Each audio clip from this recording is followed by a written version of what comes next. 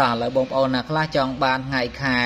នៅលើទូរស័ព្ទ iPhone ណាបងប្អូននេះចង់កន្លែងនេះបាទបងប្អូនណាខ្លះចង់បានកន្លែងហ្នឹងឲ្យចេញជាអក្សរខ្មែរណាបងប្អូនអាចចូលមើលវីដេអូនេះបានបាទអត់បាក់ទេសម្រាប់ទូរស័ព្ទ iPhone វាគ្រាន់តែថាម៉ាក model ខុសគ្នាមែនប៉ុន្តែកម្មវិធីវាស្តៀងស្តៀងតែគ្នាទេបងប្អូន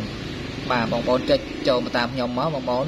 បាទបងប្អូនចុចចូលមកក្នុង setting បាទបងប្អូនអូសឡើងលើចុច general អស់ឡើងលើបងប្អូនចុចយកអានេះបងប្អូនគេដាក់ Total Language and Recon បងប្អូនចុចឡើងហ្នឹងមកហើយបងប្អូនចំណាំមើលឡើងចាំកន្លែងនេះបងប្អូននេះបងប្អូនចុចយកអាសូពណ៌ខៀវនេះគេដាក់ថា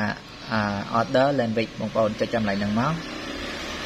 បាទហើយបងប្អូនអូសរកភាសាដែលបងប្អូនចង់បានមកបងប្អូនឲ្យចេញជាភាសាអីបងប្អូនដាក់ភាសានឹងមកបាទសម្រាប់ខ្ញុំខ្ញុំចង់ជាជាអក្សរខ្មែរបាទខ្ញុំមិនសូវចេះអង់គ្លេសទេបាទព្រោះអីខ្ញុំដាក់អក្សរខ្មែរ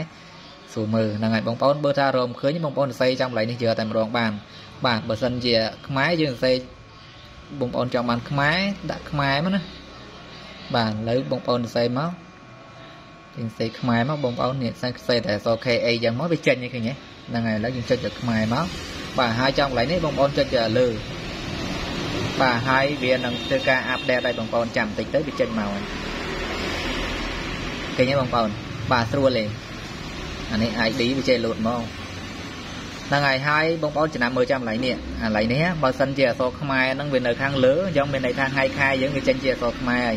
បាទបើសិនជាទូរស័ព្ទបងប្អូនមានអក្សរខ្មែរនៅខាងក្រោមអក្សរអង់គ្លេសនេះវាអត់ចេញទេឃើញបងប្អូនតែប៉ុណ្ណឹងហើយហើយអញ្ចឹងបងប្អូនចុចថយមកក្រោយមើលហើយយើងមើលអក្សរខ្មែរខាងលើហ្នឹងវាចេញអត់បាទយើងលុកសោវាមើលឃើញទេបងប្អូនស្រួលទេឃើញទេប៉ុណ្ណឹងហើយហើយ